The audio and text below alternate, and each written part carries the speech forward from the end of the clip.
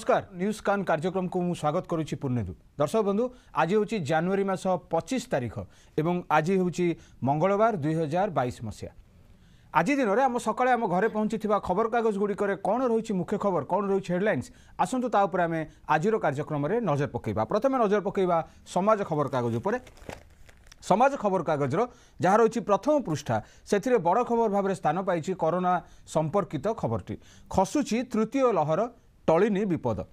ଦେଶରେ ଓମିକ୍ରନ୍ର ଉପପ୍ରଜାତି ଚିହ୍ନଟ। ଓମିକ୍ରନ୍ ଶେଷ ପ୍ରଜାତି ନୁହେଁ ଏହା କହିଛି ହୁ ବା ୱାର୍ଲଡ ହେଲ୍ଥ ଅର୍ଗାନାଇଜେସନ୍ ସେହିଭଳି ତିନି ଲକ୍ଷ ଛଅ ହଜାର ସଂକ୍ରମିତ ମୁଁ ଆପଣଙ୍କୁ ଏଠାରେ ସୂଚନା ଦେବି ଏହା ହେଉଛି ଗତକାଲିର ପରିସଂଖ୍ୟାନ ଆଜିର ପରିସଂଖ୍ୟାନ ଆସିଛି। ରାଜ୍ୟରେ ଆଉ ସାତ ହଜାର ଦୁଇଶହ ଏକାନବେ ଚିହ୍ନଟ ପାଞ୍ଚ ମୃତ। ଏହା ମଧ୍ୟ ଗତକାଲିର ପରିସଂଖ୍ୟାନ। ସେହିଭଳି ଆଉ ଏକ ବଡ଼ ଖବର ସ୍ଥାନ ପାଇଛି ଷ୍ଟକ୍ ବଜାରକୁ ରାହୁ ଗ୍ରାସ ନିବେଶକ ହରାଇଲେ ନଅ ଲକ୍ଷ କୋଟି। ନିବେଶକଙ୍କୁ ଘାରିଛି ବୈଶ୍ୱିକ ମୁଦ୍ରାସ୍ଫୀତି ୟୁକ୍ରେନ୍ ଯୁଦ୍ଧ ପ୍ରସ୍ତୁତି ଓ ତୃତୀୟ ଲହର ଚିନ୍ତା। ଏହି ଖବରଟି ମଧ୍ୟ ସ୍ଥାନ ପାଇଛି ସମାଜର ପ୍ରଥମ ପୃଷ୍ଠାରେ। ଯଦି ଆମେ ସମାଜର ଦେଶ ବିଦେଶ ପୃଷ୍ଠା ଉପରେ ନଜର ପକାଇବା ତେବେ ଦେଶ ବିଦେଶ ପୃଷ୍ଠାରେ ପ୍ରଥମେ ଏକ ବଡ଼ ଖବର ସ୍ଥାନ ପାଇଛି ଏକ ଫଟୋ ସହ କ୍ୟାପସନ୍ ରହିଛି ବିଶ୍ୱର ଉଷ୍ମତମ ଭୂମିରେ ବରଫ ଶଯ୍ୟା। ବିଶ୍ୱର ଉଷ୍ମତମ ସ୍ଥାନ ଆଫ୍ରିକାର ସାହାରା ମରୁଭୂମି ଏବେ ଶୀତଳ ବିସ୍ମୟଭୂମି ପାଲଟିଛି। ପ୍ରାୟ ନଅ ଦଶମିକ ଦୁଇ ବର୍ଗ କିଲୋମିଟର ବ୍ୟାପୀ ଏହି ମରୁଭୂମିରେ ଉତ୍ତାପ ଗ୍ରୀଷ୍ମରେ ଅଠାବନ ଡିଗ୍ରୀ ଛୁଇଁଥାଏ କିନ୍ତୁ ଚଳିତ ଶୀତ ଋତୁରେ ଏଠାରେ ପ୍ରବଳ ବରଫ ପଡ଼ିଥିବା ଦେଖିବାକୁ ମିଳିଛି। ଫଟୋ ସହ ଏହି ଖବରଟି ସ୍ଥାନ ପାଇଛି। ସେହିଭଳି ଆଉ ଏକ ବଡ଼ ଖବର ରହିଛି। ମହାରାଷ୍ଟ୍ରର ଖବରଟି ହିନ୍ଦୁତ୍ୱ ନେଇ ବିଜେପି ଶିବସେନା ମୁହାଁମୁହିଁ। ଆଉ ଏକ ଖବର ରହିଛି ଶରଦ ପାୱାର କରୋନା ସଂକ୍ରମିତ। ରାଷ୍ଟ୍ରବାଦୀ କଂଗ୍ରେସ ପାର୍ଟି ବା ଏନ୍ସିପିର ମୁଖ୍ୟ ଶରଦ ପାୱାର କରୋନା ସଂକ୍ରମିତ ହୋଇଛନ୍ତି। ଇଏ ହେଲା ସମାଜର ଦେଶ ବିଦେଶ ପୃଷ୍ଠାର କିଛି ପ୍ରମୁଖ ଖବର। ଏବେ ଆସନ୍ତୁ ଆମେ ନଜର ପକାଇବା ସମ୍ବାଦ ଉପରେ। ସମ୍ବାଦର ଯାହା ରହିଛି ସବୁଠାରୁ ବଡ଼ ଖବର ତାହା ହେଉଛି କମୁଛି ସଂକ୍ରମଣ। ଏକ ଗ୍ରାଫ୍ ଦିଆଯାଇଛି ଜାନୁଆରୀ ବାରରୁ ତେଇଶ ମଧ୍ୟରେ ଦୈନିକ କୋଭିଡ୍ ପଜିଟିଭ୍ ଓଡ଼ିଶା। ଆମ ରାଜ୍ୟର ଯେଉଁ କୋଭିଡ୍ର ସଂକ୍ରମିତଙ୍କର ସଂଖ୍ୟା ପ୍ରତିଦିନ ଆସୁଛି ତାହା ଜାନୁଆରୀ ବାର ତାରିଖରୁ ତେଇଶ ତାରିଖ ଭିତରେ ଏକ ଗ୍ରାଫ୍ ଦ୍ୱାରା ପ୍ରଦର୍ଶିତ କରାଯାଇଛି ଯେ ଜାନୁଆରୀ ବାର ତାରିଖରେ ଥିଲା ଦଶ ହଜାର ଅଣଷଠି ତାପରେ ଦଶ ହଜାର ଆଠଶହ ଛପନ ଦଶ ହଜାର ଚାରିଶହ ଅଣାନବେ ଏବେ ସାତ ହଜାର ଦୁଇଶହ ଏକାନବେ ଯାହା ଗତକାଲିର ପରିସଂଖ୍ୟାନ ଯାଏଁ ଦିଆଯାଇଛି ଜାନୁଆରୀ ତେଇଶ ଯାଏଁ ଦିଆଯାଇଛି ପରିସଂଖ୍ୟାନ ସେହିଭଳି ଏସ୍ବିଆଇର ସର୍ଭେ ତୃତୀୟ ଲହରରେ ଗ୍ରାମାଞ୍ଚଳରେ ସର୍ବାଧିକ ସଂକ୍ରମଣ। ଦୈନିକ ଟେଷ୍ଟିଂରେ ବଡ଼ ହ୍ରାସ ସାତ ହଜାରକୁ ଖସିଲା ଦୈନିକ ସଂକ୍ରମଣ। ଓଡ଼ିଶାର ଓମିକ୍ରନ୍ ଗୋଷ୍ଠୀ ସଂକ୍ରମଣ ଆଶଙ୍କା ଅଧିକ ଏକଥା କହିଥିଲେ ଜନସ୍ୱାସ୍ଥ୍ୟ ନିର୍ଦ୍ଦେଶକ। ଏଇଟି ବଡ଼ ଖବର ଭାବେ ସ୍ଥାନ ପାଇଛି। ଦ୍ୱିତୀୟ ବଡ଼ ଖବର ଭାବେ ସ୍ଥାନ ପାଇଛି ଏପ୍ରିଲରେ ପୌର ଭୋଟ। ହୋଇପାରେ ମାର୍ଚ୍ଚ ଶେଷ ସପ୍ତାହରେ ତାରିଖ ଘୋଷଣା କରୋନା ବଢ଼ିଲେ କି କମିଲେ ନିର୍ବାଚନ ପ୍ରଭାବିତ ହେବନି। ଖୁବ୍ ଶୀଘ୍ର ବୁଥରେ ପ୍ରକାଶ ପାଇବ ଭୋଟର ତାଲିକା। ଇଏ ହେଲା ସମ୍ବାଦର ପ୍ରଥମ ପୃଷ୍ଠାର କିଛି ବଡ଼ ଖବର।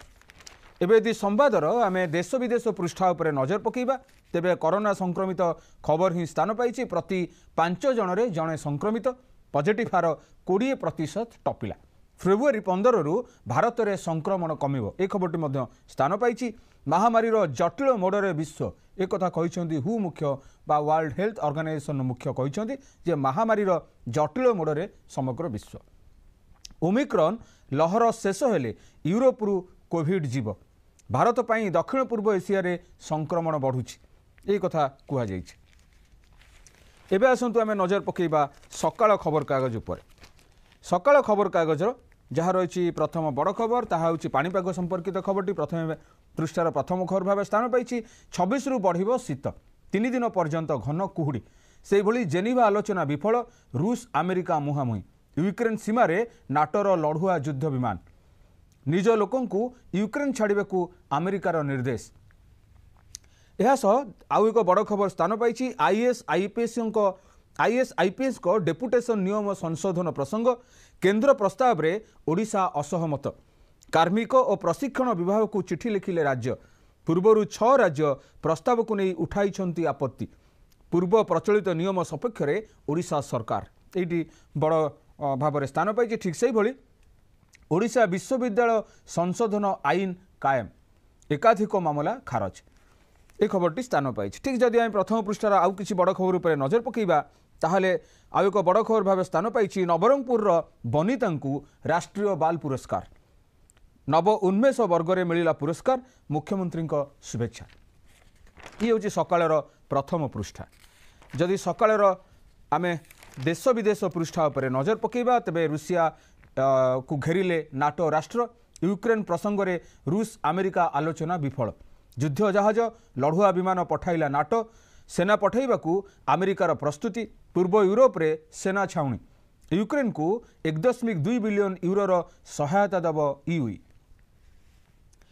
ତେବେ ଆଉ ଏକ ବଡ଼ ଖବର ସ୍ଥାନ ପାଇଛି ଭାରତରୁ ମିଳିଲା ଓମିକ୍ରନ୍ର ନୂଆ ଭାରିଆଣ୍ଟ ବିଏ ଟୁ। ଛଅ ଶିଶୁ ସମେତ ଷୋହଳ ରୋଗୀ ଚିହ୍ନଟ। ଆର୍ଟିପିସିଆର୍ରେ ଧରାପଡ଼ୁନି ଓମିକ୍ରନ୍କୁ ଶେଷ ଭାରିଆଣ୍ଟ ଭାବିବା ବିପଜ୍ଜନକ ଏକଥା ହୁ ବା ୱାର୍ଲଡ ହେଲ୍ଥ ଅର୍ଗାନାଇଜେସନ୍ କହିଛନ୍ତି।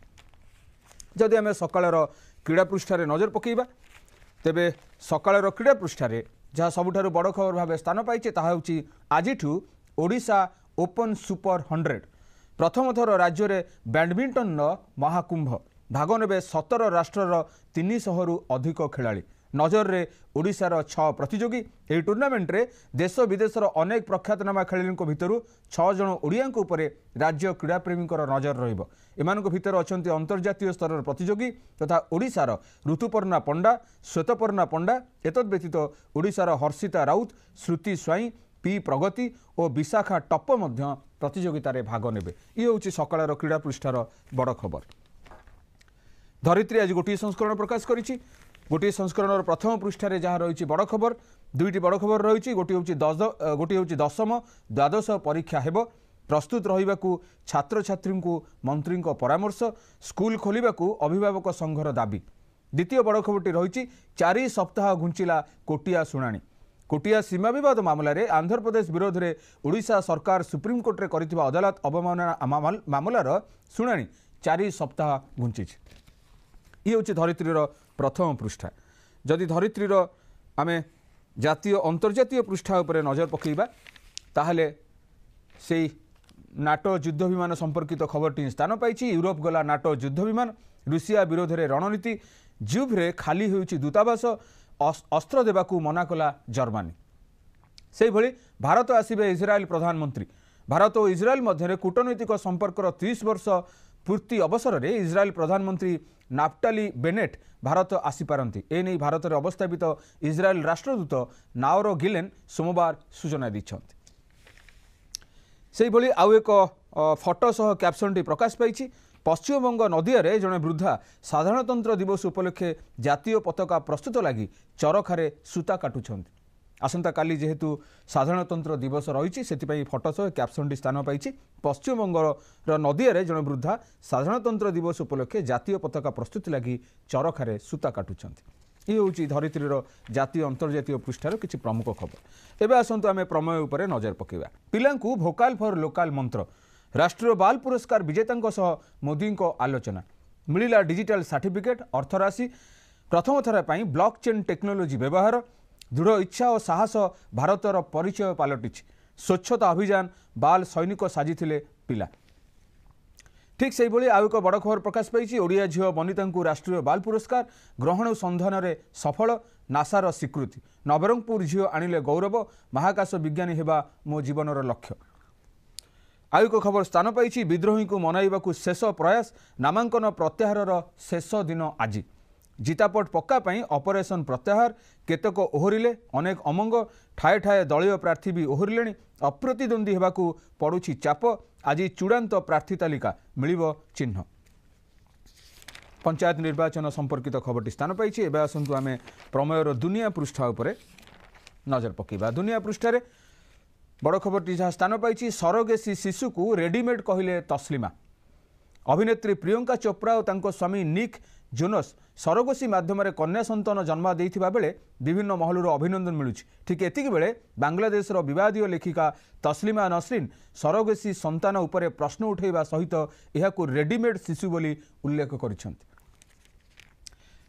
ସେହିଭଳି ଆଉ ଏକ ବଡ଼ ଖବର ଭାବେ ସ୍ଥାନ ପାଇଛି। ପଞ୍ଜାବରେ ପଞ୍ଚଷଠି ଆସନରେ ଲଢ଼ିବ ବିଜେପି। ସୁଖଦେବଙ୍କ ଦଳ ପନ୍ଦର କ୍ୟାପ୍ଟେନଙ୍କ ଦଳ ସଇଁତିରିଶଟି ଆସନରେ ଲଢ଼ିବ। ଶହେ ଅଣଷଠି ଜଣିଆ ପ୍ରାର୍ଥୀ ତାଲିକା ଦେଲା ସମାଜବାଦୀ ପାର୍ଟି ବା ସପା। କରହଲରୁ ଲଢ଼ିବେ ଅଖିଳେଶ ଆଜମ ଖାନ ପୁଅ ଅବଦୁଲ୍ଲାଙ୍କୁ ଟିକେଟ୍ ଉତ୍ତରପ୍ରଦେଶ ନିର୍ବାଚନ ସମ୍ପର୍କିତ ଖବରଟି ହିଁ ସ୍ଥାନ ପାଇଛି ଏବେ ଆସନ୍ତୁ ଆମେ କ୍ରୀଡ଼ାଙ୍ଗନ ପୃଷ୍ଠା ଉପରେ ନଜର ପକାଇବା। କ୍ରୀଡ଼ାଙ୍ଗନ ପୃଷ୍ଠାରେ ଯାହା ବଡ଼ ଖବର ଭାବେ ସ୍ଥାନ ପାଇଛି ତାହା ହେଉଛି ଆଜିଠୁ ଓଡ଼ିଶା ଓପନ୍ ବ୍ୟାଡମିଣ୍ଟନ। କଟକରେ ଅଭ୍ୟାସ କଲେ ଖେଳାଳି ମୋଟ ପୁରସ୍କାର ରାଶି ପଞ୍ଚାବନ ଦଶମିକ ପାଞ୍ଚ ଆଠ ଲକ୍ଷ। ରାଜ୍ୟ ପାଇଁ ଗୌରବର ବିଷୟ ଏକଥା କହିଛନ୍ତି ରାଜ୍ୟ କ୍ରୀଡ଼ାମନ୍ତ୍ରୀ ନଜରରେ ରହିବେ ଋତୁପର୍ଣ୍ଣା ଓ ଶ୍ୱେତପର୍ଣ୍ଣା। ଇଏ ଥିଲା ଆଜି ସକାଳେ ଆମ ପାଖରେ ଆମ ଘରେ ପହଞ୍ଚିଥିବା ଖବରକାଗଜଗୁଡ଼ିକର କିଛି ପ୍ରମୁଖ ଖବର ଯେଉଁ ସମ୍ପର୍କରେ ମୁଁ ଆଲୋଚନା କଲି ଆପଣଙ୍କୁ ସୂଚନା ଦେଲି ଏବଂ ସମୀକ୍ଷା ମଧ୍ୟ କଲି। ତେବେ ଆଜିର ନ୍ୟୁଜ୍ ସ୍କାନ୍ କାର୍ଯ୍ୟକ୍ରମକୁ ମୁଁ ଏଇଠି ରଖୁଛି। ଆଜି ପାଇଁ ବିଦାୟ ଦିଅନ୍ତୁ। ନମସ୍କାର।